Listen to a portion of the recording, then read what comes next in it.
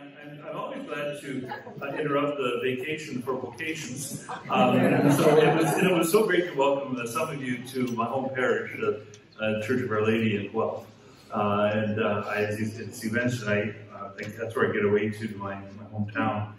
Um, and so it's just great, great to be here. I just love being together with Serrans because of the tremendous mission in which we're all engaged and the astonishing importance that Sarah has in the life of the church. And so for that, I thank you all for the prayers you offer. As, uh, as earlier on, some of my younger colleagues were pointing out, and it's very true. It is the prayer, is the heart of it all. The only thing our Lord ever said was pray the Lord of the harvest to send laborers into the harvest. All the other stuff is uh, it, it's extra, but it's, it's that's the heart of it all. And that's really the heart and center of the uh, vocation of, of Serra. And so what I'd like to do is talk a bit about the theme, witnesses of the word and um, think about a bit. Witnesses, a bit of the word, uh, what it means to witness, to, to witness to Christ, and uh, to fulfill that in a way that, uh, in a sense, our heavenly patron certainly shows us that way. He was witnessing to Christ through his uh, through many, many difficulties and struggles and terrible difficulties. He constantly was there because he was always moving forward, ever onward for the sake of the Lord. He was coming from experience of Christ, moving outward always into that. And so that's what it is, is to be a witness to Christ. And what I'll do is I'll, I'll just, um, I have my little red Bible because I think the Bible should be read. Um, red Bible there. I, I must say that uh, Father Newstead, my, my great friend and hero, I had two influences on me. One was he led me to the priest. He said, you don't talk, you should think about becoming a priest. Um, I was a little slow in figuring out what he was doing. He would take me to chrism masses, ordinations, and things. Finally, about 30 years later, I figured out what he was doing. But, uh, but he also got me very interested in English literature. To, to listen to John Henry Newstead uh, uh, read out the tiger, tiger, burning bright in the forest of the night. Woo! I got so interested, I thought, oh, go in English. So I'm, I, I'm uh, inflict cruel and unusual punishment on you which is forbidden in the United States, but it's not forbidden in Canada. so there we are. Uh, so what I'd just like to do is just um, flip two pages of Scripture. One thing I'm doing, by the way, I think because I had an experience, uh, I won't go into details, uh, the fact I think people talk about Jesus a lot, but they never seem to read the Gospel. Like, it's just from Bishop Sheen when he got an Emmy or something, said, I want to um, give thanks to my writers, Matthew, Mark, Luke, and John. and I think that's what we've got to get. Read the gospel. Know, we got this kind of meringue Jesus made out of, some people say, do whatever you want and I'll validate it. That's just not the right thing, you know. We got to read the gospel. Gospel of the Lord comforts us, certainly, but he challenges us. He calls us to change our lives. People dropped everything and followed him. That's what it's all about in terms of our life of discipleship. So we need to read, read the gospel, the real gospel, the actual thing. A chapter a day keeps the bishop away. this is my, uh, homework, everyone. I'm also a former teacher. Read one chapter every single day of Matthew, Mark, Luke, and John. Read the rest of the in the Bible too. Maybe half an hour a day reading, whatever. But read always a chapter of the real gospel. Read it aloud if you can, because that even touches the heart even more. So, witnesses. Here are just two pages of the gospel. The last page of Luke and the first page of John. Just listen to the word witness. How important it is. And it's constant throughout the, the, the Bible. Thus it is written that the Christ should suffer and on the third day rise from the dead, and that repentance and forgiveness of sins should be preached in his name to all nations, beginning from Jerusalem. You are witnesses of these things. And behold, I send the promise of my Father upon you, but stay in the city till you are clothed with power from on high. And then he led them out as far as Bethany, and lifting up his hands, he blessed them. And while he blessed them, he parted from them and was carried up into heaven. And they returned to Jerusalem with great joy and were continually in the temple blessing God. In the beginning was the Word the Word was with God, and the Word was God.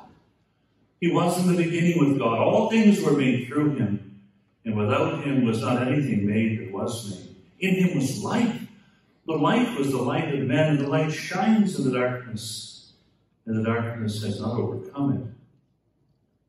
there was a man sent from God whose name was John. He came for testimony, to bear witness to the light, that all might believe through him.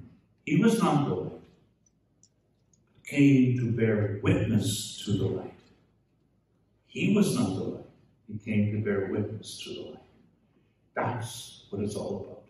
To be witnesses to the light, witnesses to the Word, who is God, the Word, who is the Lord.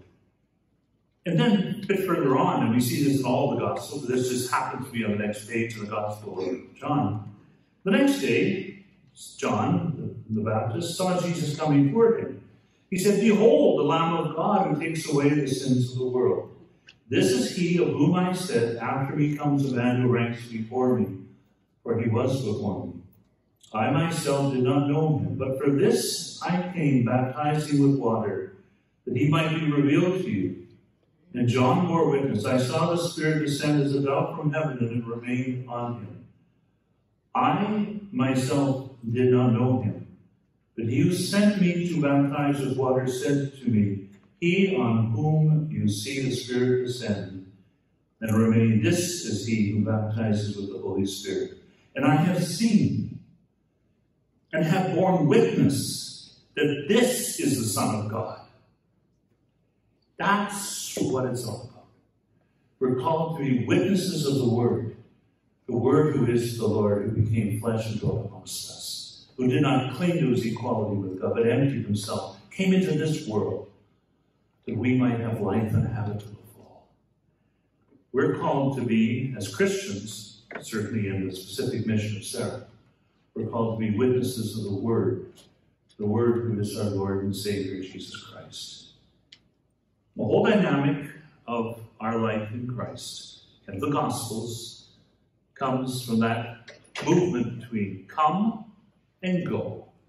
We come, come follow me, come and see, come, in especially the first chapter of the Gospel of John, come and see weekends, or come from the Gospel of John. Come and see, experience, be with the Lord. He didn't, his disciples or his students, his disciples of means that, it doesn't mean someone who sits in a classroom and takes notes. It's someone who lives with the master. Come and see. That's the way it is. We get permeated with the experience of the Lord. And that's still in the Jewish tradition of what a student does with the master. Come and live with the master, live with the rabbi. And you, but the difference is, students choose the master. The students of a rabbi choose the rabbi. When you're doing, uh, like I did a doctorate on the apocalypse, so again, it's just, if I look worried, Um, I might know the day at the end of the world. I remember picking up a phone, a phone from uh, uh, London, Ontario, and I phoned Father Ugo Vanni, the great Father Vanni, who is also the uh, teacher of our uh, uh president of our seminary, Father And I said, I'd like to do a doctorate with you. Would you be my teacher? Would you be my director? He said, oh, certainly, come on over this afternoon. I said, well, there's very good telephone connections. I'm coming from, I'm calling from Canada, so I don't think I'll be able to do that, but I'll come. And I did come. So the students seek the master. But this is the case where the master sought the students. He sought, come, come. He came to be with him, to learn from him, to experience his presence, and not just what he taught, he didn't hand out notes, but to experience Him. That's why later on, with the power of the Holy Spirit, these are the ones who are able to interpret His message because they experience His person. And they could be witnesses not just to a text, but to the person of Jesus Christ. And that's the dynamic. We come to receive, we come to listen, we come to be with the one we love. And then we go and witness. And that's the end of the Gospel of Matthew, too, not just the Gospel of Luke, the Gospel of Matthew. For that matter, it's the end of the Gospel of John, and for that matter, the Gospel of Mark. Well, anyway, there we go. You come, go, go, go make disciples. Go make witnesses, disciples, baptizing them in the name of the Father, the Son, the Holy Spirit, sacraments, and teaching them, teaching, word and sacrament. That's the dynamic of the Christian life. We come to experience and we go to witness to the Lord. And I remember 25 years ago, well, the time has gone very quickly, when I became, I was called to be a bishop. And uh, you get to sort of design a logo. So I got a little gold cross and a red background, which is the St. Peter's Seminary, where I spent much of my life. But I then put Alpha Omega, Bible and Chalice, Jesus Christ in Word and Sacrament. Worship God. And that's from the uh, book of Revelation, where I spent two years studying the last 16 verses of the book of Revelation when I did my doctorate. I, am a slow reader. two years to read the last 16 verses, but there we are. And that's the dynamic. We come to experience, we come to listen, we come to be with the Lord, and then we go on a mission. And that's the same with Mass. We come together. We are a congregation. We come at the sound of the bells. We come to be with the Lord. And the last word of Mass, though, is go. Ite misas, go. Out into the streets. It's like, it's really basically like the body. You know, doctors who's better sure I'm doing this correctly. But you know, the, the blood comes into the lungs to be purified, then goes back out to do its work, then comes back in again. go back out. Purification, new life, purification, new life. Steady too. The heart, Sacred Heart of Jesus, the heart is steady, steady all the time. It's not extravagant, it's not wild, it's steady. And that's our mission. To come to be with the Lord, to go and be witnesses. We are witnesses of the Word. And that's, of course, also very much the case of the vocation ministry. People often say, you know, it's like Father Martin was talking, we happened to knock on the door of Sarah's, uh, and he was coming. And, and uh, as he mentioned in his talk, it happened the priest wasn't there at the time, but there were seminarians there. And they invited him, welcomed him, and they helped him to see. They became witnesses of the priesthood. He saw them, he saw the priesthood. He saw the priest, he saw the priesthood. And this is true. I remember when I was in my former life, when I was a rector of a seminary, I put out a little chart for about 50 seminaries at the time. And I put out a little questionnaire. What inspired you? What brought you to the seminary? What helped you? What witnessed to you, in a sense, to become a seminarian, to try it out? And I put several options. Vocation literature, zero. uh, you know, imagery, beautiful pictures, and the zero. The influence, I was invited by a priest, 45 out of 50. The example of a priest, about 40 out of 50. So it's, it's the witnesses that have always been the ones who bring people to, and that's what we're all called to do in our different ways, to, to witness to Christ in that way. And for me, it was witnesses like uh, well, Father and, and others, and we all have our different different ones. And indeed, also, we think of our parents and we think of the ways people witness to help people in the great vocation of marriage. That's why we have that as a way in formation for marriage to have people witness. And we experience witness from those we know who are living that vocation as it is meant to be lived.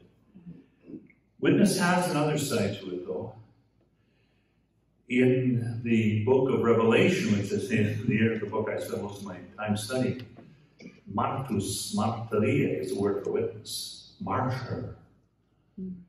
And the first named witness that we know of uh, in that sense, the modern sense, is in the first part of the book of Revelation, Antipas, who gave his life for Christ. But we know the first martyr was Stephen.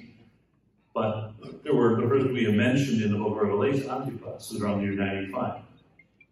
And they used the term specifically used of witness, martus. And that is something that we need to reflect upon. If we are witnessing with integrity to the Lord, in a world where, as it says, the, the light came into the darkness, and the darkness did not overcome it, and the darkness did not grasp it. I think sometimes the best translation of that is that the darkness did not grasp the light. It didn't either conquer it or understand it. We're liable to face martyrdom. And we think of think of those parishioners who came to Mass on Pentecost Sunday in Owo in Nigeria. Martyred, martyred, congregation, and just a few a bit later, and all over the world. There are more martyrs in the sense of witnesses in blood now than there ever were. But the blood of martyrs is the seed of the church. Their witness leads to new life because they say, I'm willing to die for Christ. Therefore, are we at least willing to live for Christ? You know, we're not likely to face martyrdom here. We face more kind of being marginalized and laughed at and kind of mocked and all that kind of stuff. They actually lay down their life for Christ. So being witnesses is, is crucial in our life. Yet it always has been. But we're witnesses of the Word. And the Word is, as I say, read a chapter a day. It is the Word of God. Yes, the Word of God is the Bible. The Bible is the Word of God, but the Word of God is more than the Bible. The Word is a who, not a what. The Word is not paper, but a person. The Word is our Lord Jesus Christ. In the beginning was the Word, and the Word was with God, and the Word was God. And the Word became flesh and dwelt amongst us. And there's a wonderful thing that became the theme of the Toronto uh, World Youth Day. It was a song for the Toronto. It came out of, First John. The one we have seen, the one we have touched, we've it is the Lord, that excitement.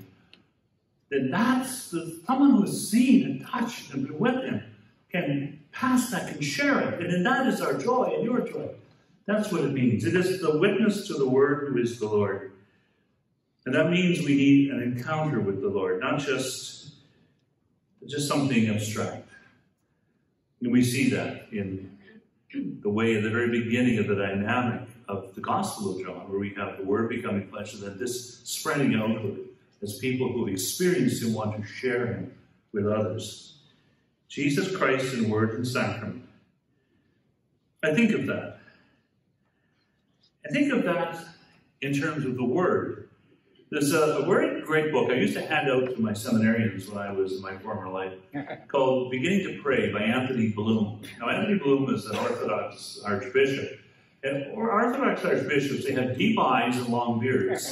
and it must be difficult in the mere term practice the eyes and sort of put weights on the, the beard. But he's a very great uh, bishop. He wrote a great book on prayer. And he talks about when he was an atheist teenager, which is a phase teenagers sometimes go through, he thought, well, I'm going to give the church one more chance. I looked for, the shortest gospel. I'm going to read the gospel.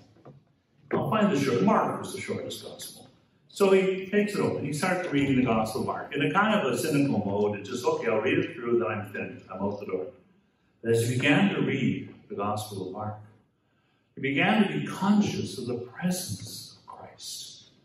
And that changed his life. He was reading, he wasn't mastering divinity as that hilarious title of theological studies. He was encountering Christ. And that's what Lectio Divina is. It's an encounter with Christ. It's a divine reading, not meant to study or master or com uh, comprehend or whatever, but to experience. Speak, Lord, your servant is listening. Speak, Lord, your servant is listening. Lord, your servant is listening. Like Samuel in the temple. And that's the word whom who we encounter, not what we encounter, who we encounter in the Word of God, and Anthony Bloom experienced that through the reading of the Gospel of Mark. And I noticed this morning, uh, Father Martin spoke of how in his uh, childhood, his father and mother, they went to adoration.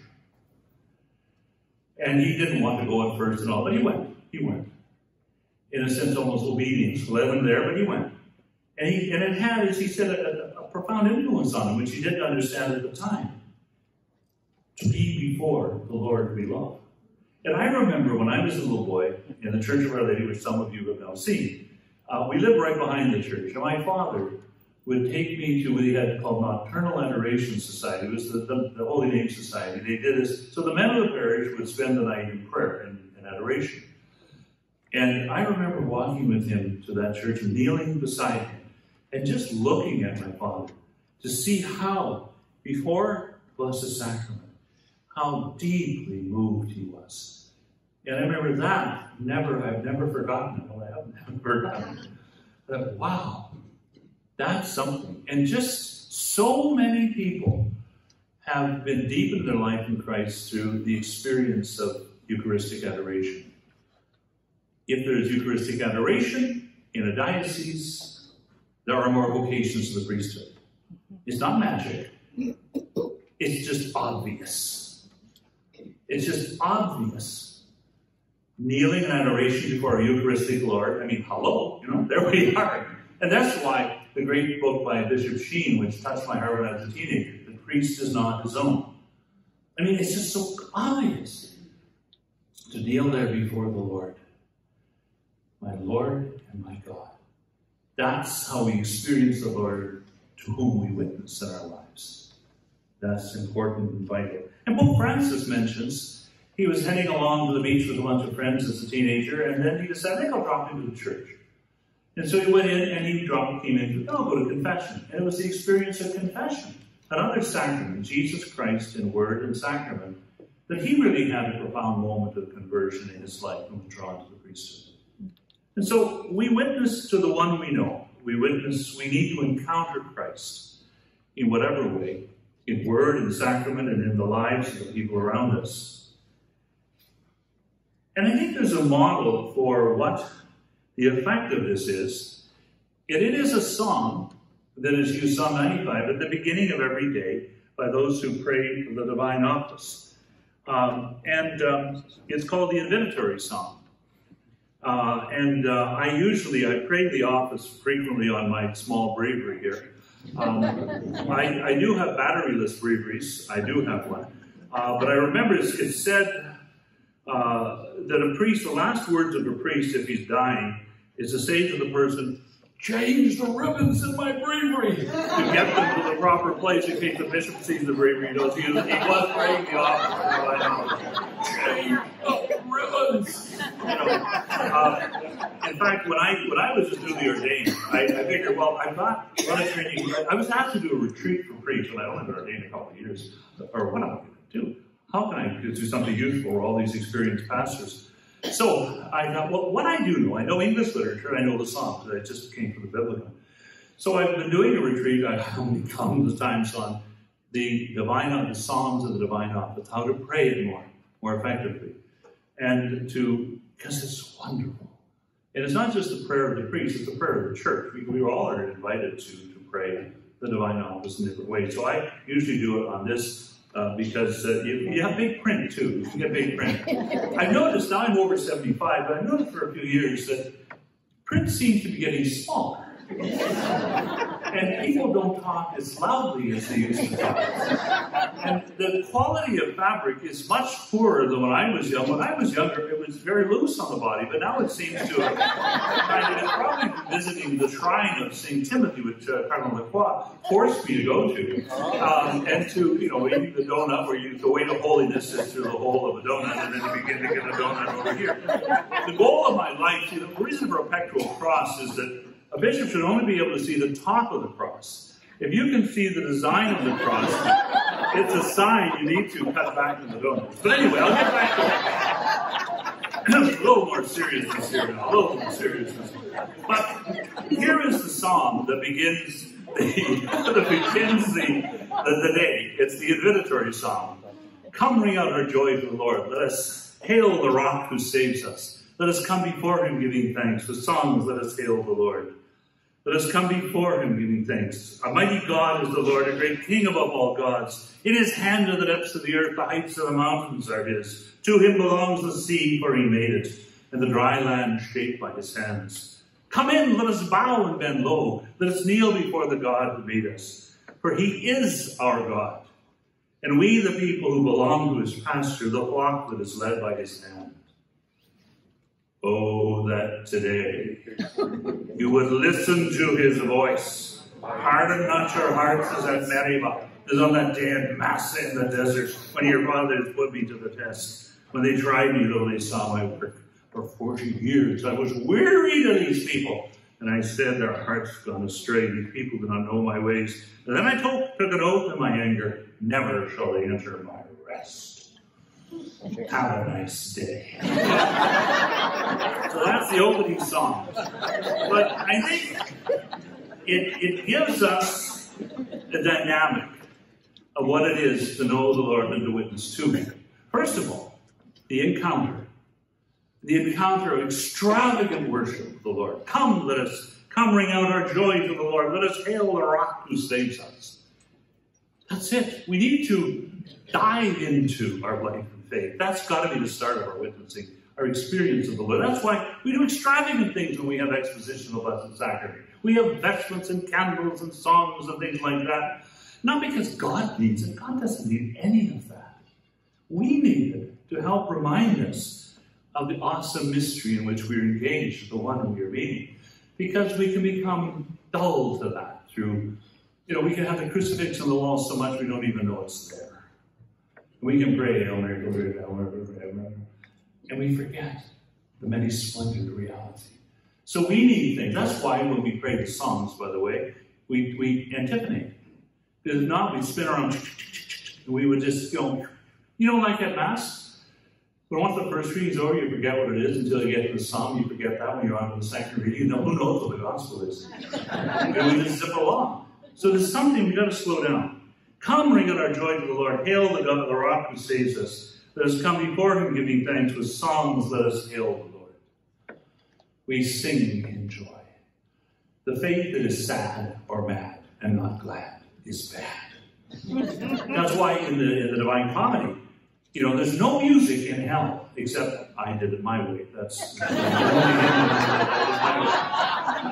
in, in, that great book, the Dante, where you know they go, he goes, you want to get quick to the, the mystic mountain, woo, you get up there. No, no, you gotta you gotta deal with slow down, you gotta go to hell and back. You gotta understand what but once he gets out of hell, um, there's music.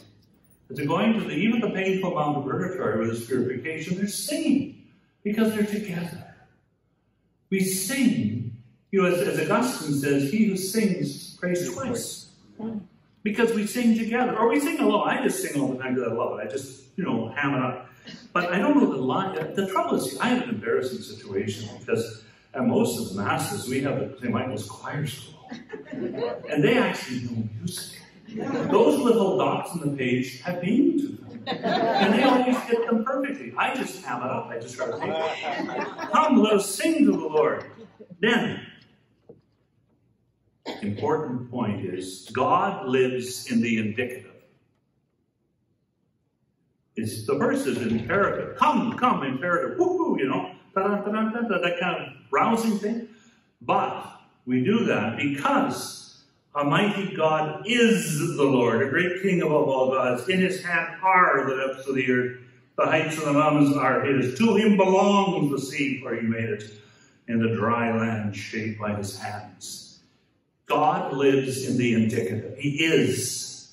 He who is. That's what led to the mission of Moses. I am who I am. It's just because we can jazz up, we can get a lot of excitement from well, all kinds of things, uh, you know, little sugar cubes and stuff. This is not really what it's all about. Our enthusiasm, the fact of the Blessed Sacrament, all that pizzazz we put around is because my Lord and my God, it is the Lord.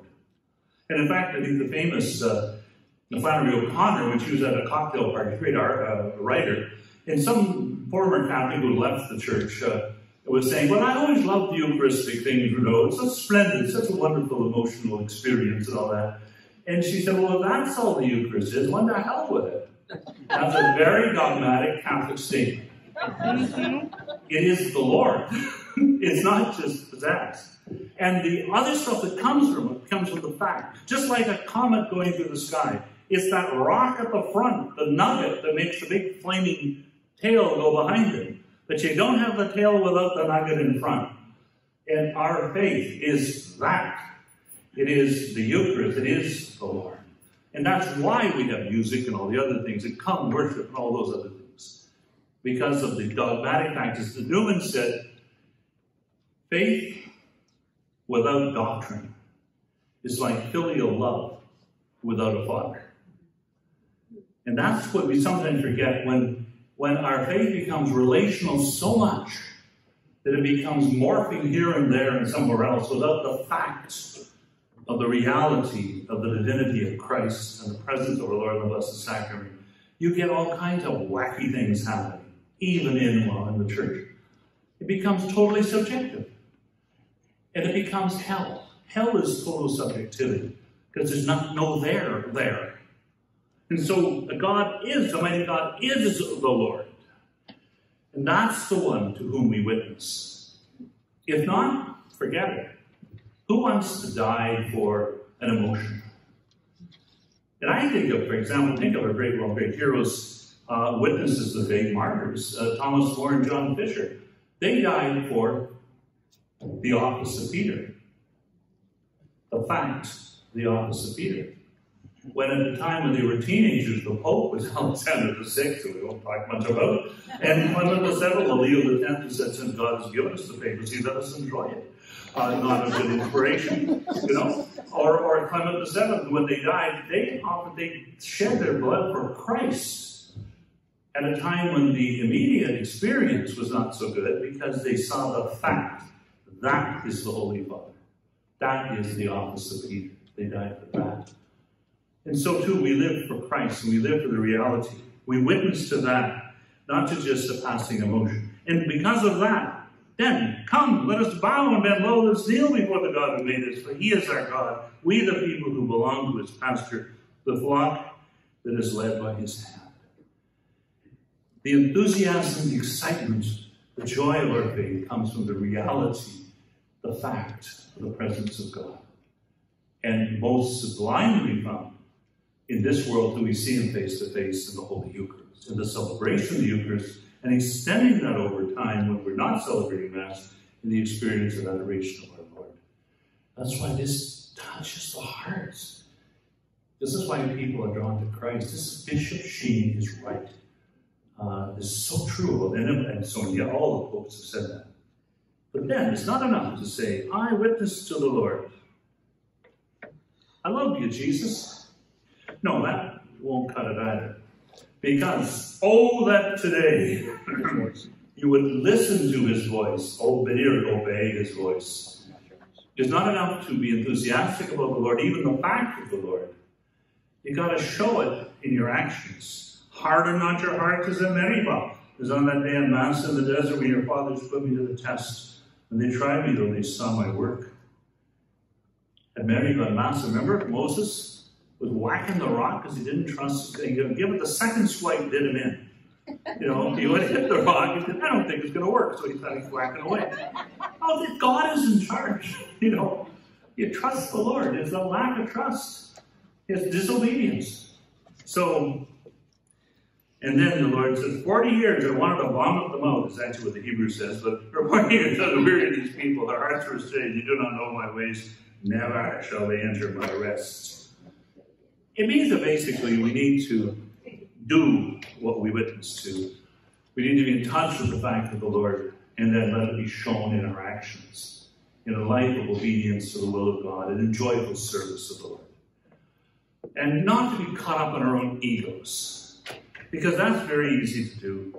And I remember one of the, there's something very important about the priesthood that I, I heard when I was a seminarian a couple of years ago. I was, there was an ancient priest, an antique priest who had taught at the seminary in London. He must have been at least 60 years old. And he had white hair. So that made him even more antique.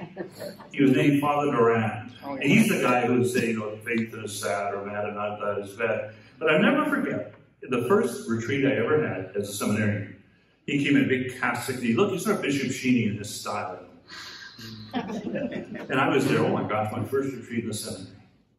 And he looked at us, this was 1969, when priests were leaving the priesthood of one a month, so, you know, boom, boom, and they were all having identity crises, uh, which I don't think most of us have the luxury to have, but they were having an identity crisis. And he said to me something that I thought was so profound. He said, gentlemen, a priest cannot have an identity crisis.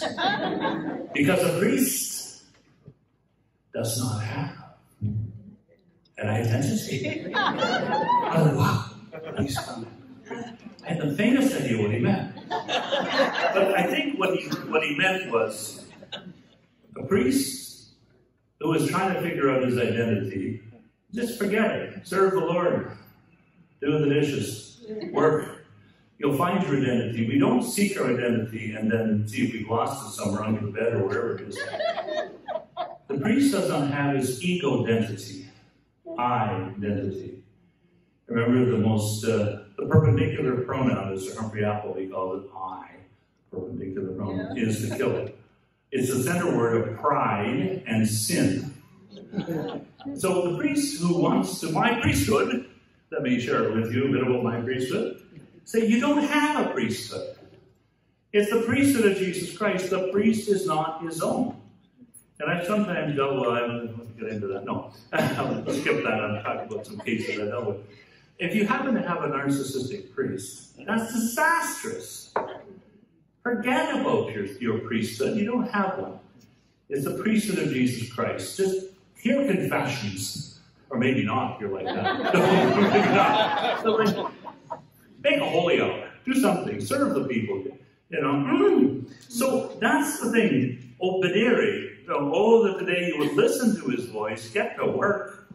Get to work, serve the people, then you'll discover your priesthood or whatever it is. Same about the Christian life. Happiness never comes in the front door, it always comes in the back door while we're doing something else. If we're serving the Lord, doing our best, we will discover what it means to be a Christian. We'll discover what it means to be a mother, or father, brother, sister, whatever, or a priest, or a bishop, or cardinal, whatever. While we're doing the will of the Lord, we'll discover what it means. We don't shape our identity, cherish our identity, and all that nonsense. So, we witness to Christ. And we do it very much by experiencing Him in word and sacrament. And there are two, uh, I better go, I better not well, By the Waters of Babylon is my favorite song because I tend to Babylon, Babylon. so I will try to bring this to a close. But there are two great symbols at the ordination of a bishop, the ordination of a deacon. Now, I should point out to you, I'm a very well organized guy. And I didn't know until my sister Patsy told me that I was ordained a deacon on May the 14th, 1972. I was ordained a bishop on May the 14th, 1997 on to the day, the 25th anniversary your ordained a deacon. I like to keep things neat. Um, but a bishop, when he's ordained, he has the book of the Gospels kind of held over his head like this by two deacons. And that means that he witnesses by going out from under the gospel of the Lord. The house whose roof, it looks like the roof of a house, whose roof is the gospel of our Lord Jesus Christ. He goes up from that to witness to Christ. But he must come back to that in order to know what he's doing. You have to witness. Who are you witnessing to? You got to consider. It's so true, deacons and bishops. It's true with all of us, isn't it? That's why chapter a day keeps the bishop away. Read, read the gospel of Jesus Christ. But that's so true. We're called to witness the experience, the encounter, not with an intellectual or whatever, but the encounter of being under the roof of the gospel that's where our natural home is. Just as our natural home, we go out from our experience of the Eucharist. So that's the first point, I think, a symbol at an ordination of a bishop. But the most sublime symbol as well. And I experienced this two days ago, and I'm going to do experience this on Sunday, the ordination of a deacon. When the gospel book is placed in the hands of the deacon. Receive the gospel of Christ, whose herald you now are, whose witness you now are. Believe what you read, teach what you believe, and practice what you teach. That's integrity. Receive the gospel of Christ, whose witness, whose herald you now are. Because the deacon is, is mandated to proclaim the gospel formally in the church. But I think we could say that for all of us, isn't that true? We're all witnesses through baptism, confirmation. Go, be my witnesses. That's where, and through word and sacrament. Receive the gospel of Christ, as witness, as herald you now are. Believe what you read. It comes from there, it doesn't come from us. We can't check around and say, by the way, what's our faith? You can't just do it that way. It doesn't come like, so we cook one up. What's a better form for the Catholic Church? Can you find one that's more to my taste? Really? No change of life in that, no conversion. No, it is the gospel of Jesus Christ that shakes us to the core, that it calls us, drop everything and follow Him, don't follow you. We don't have an I ego identity. We find who we are by forgetting who we are, by carrying the cross and dying into Christ the Lord. So receive the gospel of Christ, whose herald you now are. Believe what you read the gospel of Jesus Christ. Teach what you believe. That's why we don't cook up the faith when that's when the priest or deacon puts the soul on. It's remember, it's the faith. That's not your faith. That's why it's I often think somebody when somebody says that was a beautiful mass photo. I, I think they're very kind of them to say that. But I would say, well, nothing tops transubstantiation. you know, it's an act of God. Believe what you read, teach what you believe, which is Jesus and His Word. Be a witness to what you believe. Don't add in your own, don't let the rather turbid winds of the zeitgeist get messing up in our faith. It's just wind, after all. I don't know why it's a German word. But anyway, zeitgeist, the spirit of the age, you know. Um, no future there. It just goes around in circles. Actually, there's something of a variation of that at the beginning of the Divine Comedies. Wind, not there. Believe what you read, which is the word, and then practice what you teach. Teach what you believe and practice what you teach, because it's the integrity of the connectedness, the witness we give to the Word, who is Jesus, whom we discover in word and sacrament. The witness is shown in authenticity by the integrity of our witness. If who we are is in harmony with what we say. That's the key, because that will witness to people more than even the words we may say. And so we have to, and we, we don't do it. That's why we need to get to confession. Say, Lord Jesus Christ, Son of God, have mercy on me, a sinner. Just so often we need to be repent. That's why priests and deacons and bishops are flat on the floor with us praying, God forgive them when before they get ordained. You don't let them loose on the people of God till they're flat on the floor. And if they say, you know, two times, priest, you're flat on the floor, face down at the ordination, face up at the funeral.